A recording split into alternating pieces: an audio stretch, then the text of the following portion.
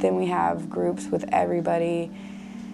And uh, it was basically people talking about it. Like this one guy said that this was his 13th treatment um, center that he'd been to, and he was 45. And like subconsciously in the back of my head, I think of, oh, well, I have 12 more tries at this. You know, like it's not, oh, well, he finally did it. It's, I can fuck up some more.